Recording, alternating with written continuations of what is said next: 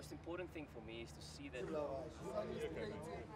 Yeah, I think we've been in the crunch time since we lost our first game. Every game has been a knockout game, so I think we've been in knockout mode. So for me, again, it's it's about our processes tomorrow. It definitely shows the character within this unit. I think we we've been really good. We knew the last two games have been must-win games if we wanted to qualify, and it shows it shows the character and determination how far we want to go in this competition. By no means are we going into tomorrow as the underdogs. We really want to win. We really we really back ourselves. I think we've put in some really good preparation over the last year or so. We've been together now. We've all worked for this day, and we really want to get underway and, and show the world what we can do under pressure.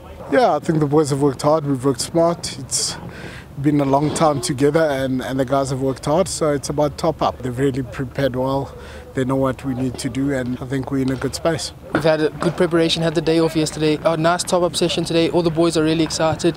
A bit of nerves, obviously, there's always going to be a bit of nerves, but we just want to get on the park and, and start tomorrow. Yeah, again, you know, our bowling attack has been affected by a couple of injuries, but I think we're back to full strength tomorrow. So hopefully the boys will stand up, and uh, the batters always been a good group of batters and they can be proud of what they've achieved and long may they continue. It's really important. I think, yes, we, we underperformed before this World Cup. Maybe in the first game we underperformed again, but I think we've shown that this batting unit has the quality to post 300, 350 every game. I think as a middle order we've shown that, that we can play spin now, we, we're really good, we, we can rotate strike, take on the game if we need to. I think everywhere we've just shown that we're a well-balanced side and a really good unit. It must be a force to be reckoned with now. At first it was really nervous start. I think I was really nervous. I wanted to play that game because it's my home ground obviously. So I was lucky enough to get that opportunity on, on my home ground. So yeah, it was a lot of emotions. I was really proud, happy to see my supporters as well. So it was a really great moment for me.